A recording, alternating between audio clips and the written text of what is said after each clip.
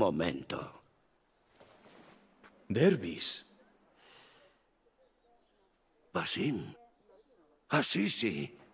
Creía que habías muerto. Me temía lo mismo. ¿Qué estás haciendo aquí? Esas... Esas ropas. ¿Ahora eres uno de ellos? ¿Cómo? Un oculto, bajo la tutela de Rosan.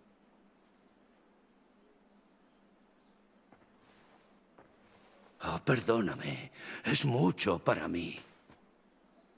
Al no encontrarte entre los muertos, confiaba en que hubieses logrado escapar.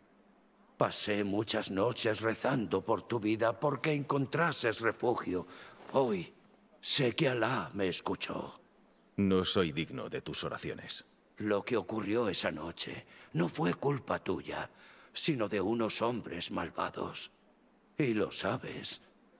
Por eso elegiste tomar esta senda. Por eso encontré el camino que lleva a Bagdad. Ali Ben Muhammad es un osado y se cree un gran héroe del que hablaron los profetas. No lo tolero, pero compartimos enemigo.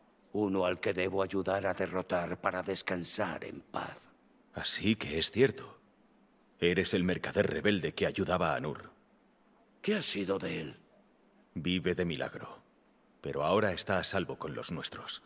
Debo continuar su obra y cazar a los opresores de Bagdad. Ali ayudaba a Nur a acercarse a uno de ellos, pero como puede que ya sepas, ha desaparecido.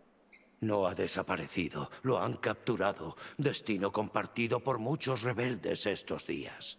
¿Sabes dónde puede estar encerrado? Lo llevaron hace semanas ya, a la casa de los guardias de la puerta de Jorasan. Hasta te vas igual que ellos. Me alegra volver a verte.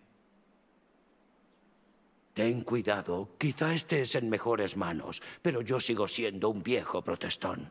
Y Basim, si alguna vez te pica el gusanillo del robo, ven a verme. Tu ayuda me vendría de perlas. Por una buena causa, claro.